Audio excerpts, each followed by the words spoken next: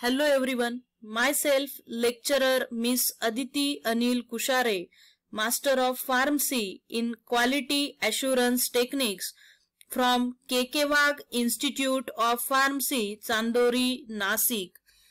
Today we are going to discuss about the topic spray that is a monophasic liquid dosage form from pharmaceutics 2.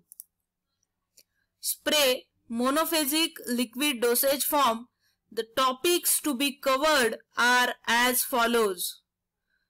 Introduction to monophasic liquid dosage forms. Classification of liquid dosage form and spray as a monophasic liquid dosage form. So monophasic liquid dosage forms. Monophasic liquid dosage form is a liquid preparation containing two or more components in one phase system. It is represented by a true solution a true solution is a clear homogeneous mixture that is prepared by dissolving solute in a suitable solvent.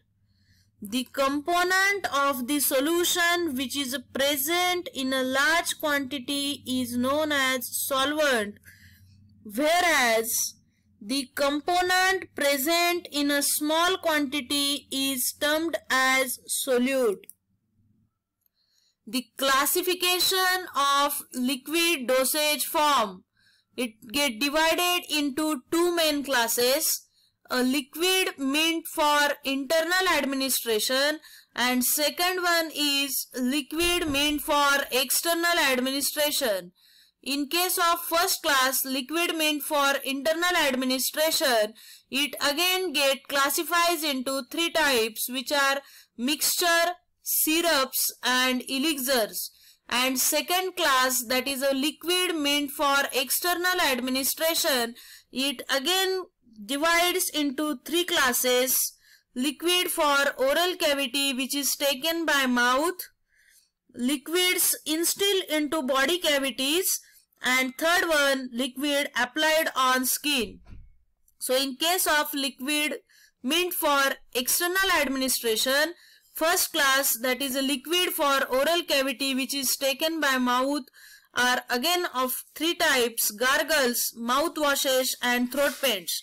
And second liquids instilled into body cavities it is again divided into three types douches, ear drops and nasal drops.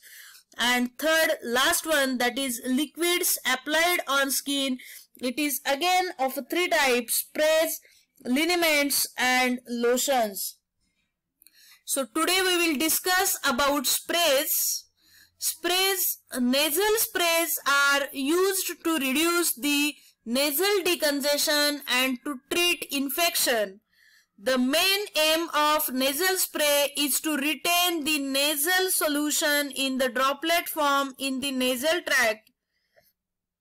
For this purpose, the nasal solution is sprayed in the form of coarse droplets by using scent spray type of atomizer, a plastic squeeze bottle. The nasal spray should be isotonic and buffered at pH 6.2. They may contain antibiotics and antihistamines. Nasal spray example menthol 2 gram, camphor 2 gram, thymol 2 gram, eucalyptus oil 5 ml and liquid paraffin up to 100 ml.